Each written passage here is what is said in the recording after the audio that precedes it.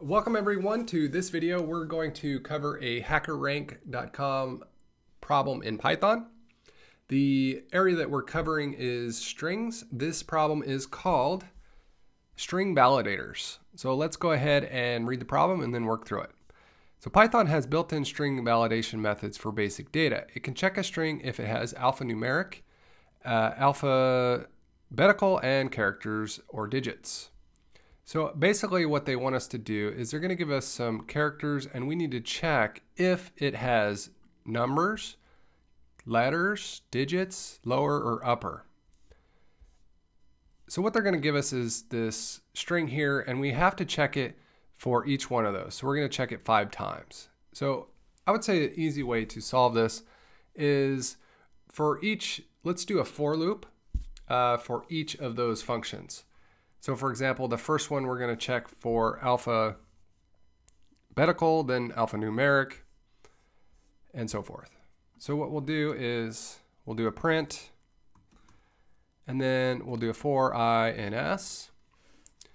Now, there are built-in functions, so it would be i dot alpha or a, I think it is a l num, yeah.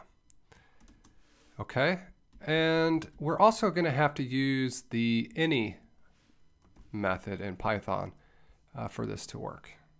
So if you have any questions, I'm not going to cover it in this video, but check out the any method to get that to work. All right, so that's the first one. Let's go ahead and test that.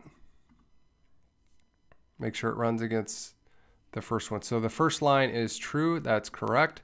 So we need to go through and do the other method. So let's copy this and paste it four more times.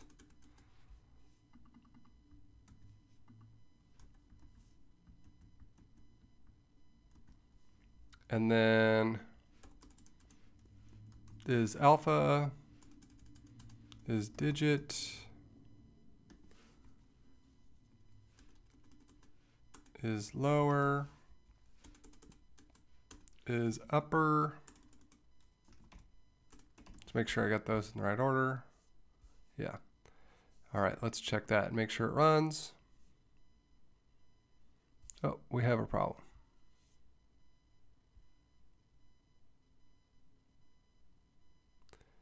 Is alpha. Okay. There we go. And it runs. Hopefully you found this video helpful. If you have any questions, please leave those in the comments below. And if you are interested in more of these videos, please check out the YouTube channel Knowledge Maven. So long. See you in the next one.